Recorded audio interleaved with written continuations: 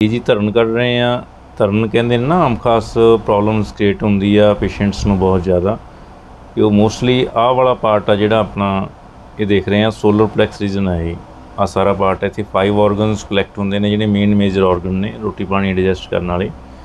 ਇਹਨਾਂ ਨੂੰ ਕੀ ਹੁੰਦਾ, ਜ਼ਿਆਦਾਤਰ ਇਸ ਜਗ੍ਹਾ ਤੇ ਸੈਲਿੰਗ ਹੋ ਜਾਂਦੀ ਆ। ਉਹ ਜਿਹੜੀ ਸੋਜ ਹੈ ਮਤਲਬ ਜੇ ਤਾਂ ਸ਼ੁਰੂਆਤ ਦੇ ਵਿੱਚ ਹੁੰਦੀ ਹੈ ਜਿਹੜੀ, ਉਹ ਕੀ ਹੁੰਦੀ ਆ ਕਿ ਨਾਰਮਲ ਟੋਟਕੇ ਵਰਤਨ ਦੇ ਨਾਲ ਧਰਨ ਕੱਢਣ ਵਾਲੇ ਕੋਈ ਮੁੱਦੇ ਪਾ ਕੇ ਮਤਲਬ ਤਕਰੀਬਨ ਜਿਹੜਾ ਹੈਗਾ ਪਿੰਜਨੀਆਂ ਦੇ ਵਿੱਚ ਕੋਈ ਰੂਲ ਵਗੈਰਾ ਫਸਾ ਕਰਕੇ, ਡੰਡਾ ਵਗੈਰਾ ਲਾ ਕਰਕੇ ਝਟਕਾ ਮਾਰਦੇ ਆ ਜਾਂ ਕੋਈ ਪਿੰਨਾ ਵਗੈਰਾ ਰੱਖ ਕੇ ਮਤਲਬ ਕੱਢਦੇ ਆ ਜਾਂ ਕੋਈ ਪਿੰਜਰੀਆਂ ਦਬ ਕੇ ਕੱਢਦੇ ਆ ਜਾਂ ਕੋਈ ਨਸਾਂ ਨੂੰ ਦਬ ਕੇ ਸੇਕ ਕੱਢ ਕੇ ਕੱਢਦੇ ਆ।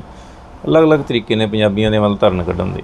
ਸ਼ੁਰੂਆਤੀ ਲਸਣਾਂ ਦੇ ਵਿੱਚ ਨਿਕਲ ਜਾਂਦੀ ਆ। ਪਰ ਜਦੋਂ ਇਸ ਚੀਜ਼ ਦੇ ਵਿੱਚ ਸੋਜ਼ ਸਕਲੈਰੋਸਿਸ ਵੱਧ ਜਾਂਦੀ ਆ ਯਾਨੀ ਚਰਬੀ ਕਲੈਕਟ ਹੁੰਦੀ ਆ ਤੇ ਜਿਹੜੇ ਮੇਨ ਪੰਜ ਅੰਗ ਨੇ ਰੋਟੀ ਪਾਣੀ ਡਾਈਜੈਸਟ ਕਰਨ ਵਾਲੇ, ਕਿਉਂਕਿ ਇਸ ਪਾਰਟ ਤੇ ਜਿਹੜਾ ਤੁਸੀਂ ਦੇਖ ਰਹੇ ਹੋ, ਇੱਥੋਂ ਆਪਣੇ ਸਟਰਨਮ ਆ ਇਹ ਹੱਡੀ, ਇਹਦੇ ਨਿਚਲੇ ਪਾਸੇ ਦੀ ਫੂਡ ਪਾਈਪ ਆ ਰਹੀ ਆ ਮਿਹਦੇ ਦਾ ਐਂਡ ਇੱਥੇ ਆ ਕੇ ਆ ਗਿਆ ਮਿਹਦੇ ਦਾ ਜਿਹੜਾ ਹੇਠਲਾ ਹਿੱਸਾ ਉਹ ਇੱਥੇ ਆ ਜਾਂਦਾ ਆਪਣਾ ਆਸ ਪਾਰਟ ਤੇ ਜਿੱਥੇ ਮੈਂ ਲਗਾ ਰਿਹਾ।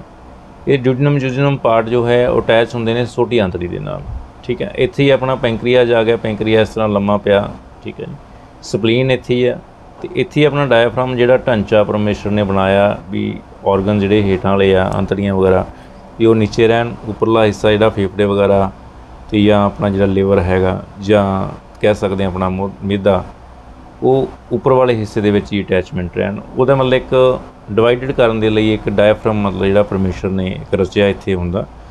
ਤੇ ਇੱਥੇ ਆਪਣਾ ਆ ਜਾਂਦਾ ਲਿਵਰ ਇਸ ਵਾਲੇ ਪਾਰਟ ਤੇ, ਮਤਲਬ ਇਹਦੇ ਅੰਦਰਲੇ ਪਾਸੇ ਲਿਵਰ ਦਾ ਐਂਡ ਮਤਲਬ ਇੱਥੇ ਆ ਜਾਂਦਾ ਗਾਲ ਵਗੈਰਾ ਇੱਥੇ ਜਿਹੜਾ ਹੈਗਾ, ਮਤਲਬ ਆ ਜਾਂਦਾ। ਤੇ ਇਹਦੇ ਆਸ-ਪਾਸ ਸੋਜ ਉਦੋਂ ਹੋਣੀ ਸ਼ੁਰੂ ਹੁੰਦੀ ਆ, ਜਦੋਂ ਇਨਸਾਨ ਕੰਟੀਨਿਊ ਥੰਧਿਆਈ ਵਾਲੀਆਂ ਚੀਜ਼ਾਂ, ਚਿਕਨਾਹਟ ਵਾਲੀਆਂ ਚੀਜ਼ਾਂ ਕੰਟੀਨਿਊ ਯੂਜ਼ ਕਰਦਾ ਰਹਿੰਦਾ ਤੇ ਉਹ ਚੀਜ਼ਾਂ ਜ਼ਿਆਦਾ ਯੂਜ਼ ਕਰਨ ਦੇ ਨਾਲ ਇਹ ਚਿਕਨਾਹਟ ਵਧਣ ਦੇ ਨਾਲ ਸੋਜ ਵੱਧ ਜਾਂਦੀ ਹੈ। ਸੋਜ ਵਧਣ ਦੇ ਨਾਲ ਫਿਰ ਇੱਥੇ ਸਕਲੈਰੋਸਿਸ ਹੋ ਜਾਂਦੀ ਹੈ ਟਾਈਟਨੈਸ ਬਹੁਤ ਜ਼ਿਆਦਾ ਵੱਧਦੀ ਹੈ ਤੇ ਇੱਥੋਂ ਅਫਾਰਾ ਹੋਣਾ ਸ਼ੁਰੂ ਹੁੰਦਾ, ਇੱਥੋਂ ਹੀ ਗੈਸ ਬਣਨਾ ਸ਼ੁਰੂ ਹੁੰਦਾ, ਇੱਥੋਂ ਹੀ ਘਬਰਾਹਟ ਹੋਣੀ ਸ਼ੁਰੂ ਹੁੰਦੀ ਹੈ। ਤੇ ਜਿਹੜੀ ਇਹ ਮਸ਼ੀਨ ਆਪਾਂ ਲਾ ਰਹੇ ਆ ਇਹ ਵੇਵਸ ਹੁੰਦੀਆਂ ਨੇ। ਇਸ ਮਸ਼ੀਨ ਦਾ ਜਿਹੜਾ ਇਹ ਹੈਂਡਲ ਆ, ਇਹ ਵੇਵਸ ਮਤਲਬ ਕੱਢਦਾ ਹੈ। ਵੇਵਸ ਜਿਹੜੀਆਂ ਹੁੰਦੀਆਂ ਨੇ, ਕੀ ਕਰਦੀਆਂ ਨੇ, ਤਕਰੀਬਨ ਇਹਦੇ ਤੇ 1 mm MHz ਤੇ ਆਪਾਂ ਲਗਾ ਰਹੇ ਆ ਇਹਨੂੰ। ਇਹ 12.5 ਫ੍ਰੀਕੁਐਂਸੀ ਤੇ ਮਤਲਬ ਇਹ ਲੱਗੀ ਹੈ ਇਸ ਟਾਈਮ ਇੰਟਰਸਿਟੀ ਜੋ ਮਤਲਬ ਹੈ ਤੇ ਇਹ ਕੰਮ ਕਰਦੀ ਹੈ 3 ਇੰਚ ਡੂੰਘਾਈ ਤੱਕ। ਮਤਲਬ ਜਿਹੜੀਆਂ ਨੜਾਂ ਦੇ ਵਿੱਚ ਸੋਜ ਆ, ਨਾੜਾਂ ਕੰਮ ਨਹੀਂ ਕਰ ਰਹੀਆਂ, ਸਹੀ ਢੰਗ ਦੇ ਨਾਲ ਵਰਕਆਊਟ ਨਹੀਂ ਹੋ ਰਿਹਾ, ਉਹ ਇਹ ਨਹੀਂ ਕਰਨਾ। ਇਹ ਲਗਾਤਾਰ ਜਿਹੜੇ ਪੇਸ਼ੈਂਟ ਜਦੋਂ ਸਵੈਲਿੰਗ ਦੇ ਵਿੱਚ ਆਉਂਦੇ ਨੇ ਤੇ ਜਿਵੇਂ ਜਿਵੇਂ ਮਸ਼ੀਨ ਲੱਗਦੀ ਜਾਂਦੀ ਹੈ ਤਿਵੇਂ ਤਿਵੇਂ ਉਹਨਾਂ ਦੀ ਸੋਜ ਨਿਕਲਦੀ ਜਾਂਦੀ ਹੈ ਤੇ ਵਧੀਆ ਢੰਗ ਨਾਲ ਸਕਸੈਸ ਹੋ ਜਾਂਦੇ ਨੇ। ਇਸ ਵੀਡੀਓ ਨੂੰ ਬਣਾਉਣ ਦਾ ਮਕਸਦ ਇੱਕੋ ਇੱਕ ਇਹ ਸੀ ਵੀ ਜਿਹੜੇ ਇਨਸਾਨ ਧਰਨ ਦੇ ਨਾਲ ਬਹੁਤ ਲੰਮੇ ਟਾਈਮ ਤੋਂ ਪੀੜਤ ਨੇ ਤੇ ਬਹੁਤ ਜ਼ਿਆਦਾ ਗੜਬੜ ਦੇ ਵਿੱਚ ਆ ਚੁੱਕੇ ਨੇ। ਬਹੁਤ ਥਾਵਾਂ ਤੋਂ ਇਲਾਜ ਕਰਵਾ ਕੇ ਅੱਕ ਥੱਕ ਚੁੱਕੇ ਨੇ। ਉਹਨਾਂ ਦਾ ਹੱਲ ਨਹੀਂ ਹੋਇਆ। ਉਹਨਾਂ ਦਾ ਹੱਲ ਕਰਨ ਦੇ ਲਈ ਇਹ ਬਹੁਤ ਹੀ ਵਧੀਆ ਢੰਗ ਦੇ ਨਾਲ ਜੋ ਮਸ਼ੀਨ ਆ ਵਰਕਆਊਟ ਕਰਦੀ ਆ।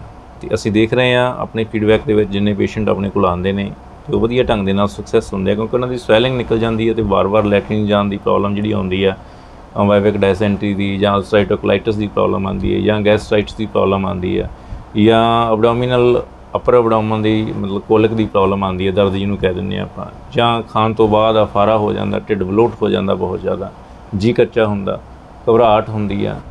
ਇਦਾਂ ਲੱਗਦਾ ਵੀ ਜਿਵੇਂ, ਮਤਲਬ ਭਰਿਆ ਭਰਿਆ ਜਿਹਾ ਫੀਲ ਹੁੰਦਾ। ਉਹ ਸਾਰੀਆਂ ਚੀਜ਼ਾਂ ਜਿਹੜੀਆਂ ਹੈਗੀਆਂ, ਇਹ ਜਦੋਂ ਲਾਉਂਦੇ ਆ ਮਸ਼ੀਨ ਨਾਲ, ਉਹਦੇ ਨਾਲ ਸਵੈਲਿੰਗ ਨਿਕਲ ਕੇ ਕਾਫੀ ਹੱਦ ਤੱਕ ਸੌਖਾ ਹੋ ਜਾਂਦਾ। ਨਾਲ ਮੈਡੀਸਨਾਂ ਵਗੈਰਾ ਲੱਗਦੀਆਂ ਨੇ, ਜਿਹੜੇ ਆਰਗਨ ਮੰਦ ਪਏ ਹੁੰਦੇ ਨੇ, ਉਹਨਾਂ ਨੂੰ ਠੀਕ ਕਰਨ ਵਾਸਤੇ। ਅਕੋਰਡਿੰਗ ਟੂ ਡਿਜ਼ੀਜ਼ ਅਸੀਂ ਟ੍ਰੀਟਮੈਂਟ ਦਿੰਦੇ ਆ ਤੇ ਜੋ ਵੀ ਟ੍ਰੀਟਮੈਂਟ ਆਯੁਰਵੇਦ ਦਾ ਟ੍ਰੀਟਮੈਂਟ ਅਸੀਂ ਫੈਸਿਲਿਟੀਜ਼ ਜੋ ਪੇਸ਼ੈਂਟਸ ਨੂੰ ਪ੍ਰੋਵਾਈਡ ਕਰਦੇ ਹਾਂ ਤੇ ਉਹ ਵਧੀਆ ਢੰਗ ਨਾਲ ਸਕਸੈਸ ਹੋ ਜਾਂਦੇ ਨੇ।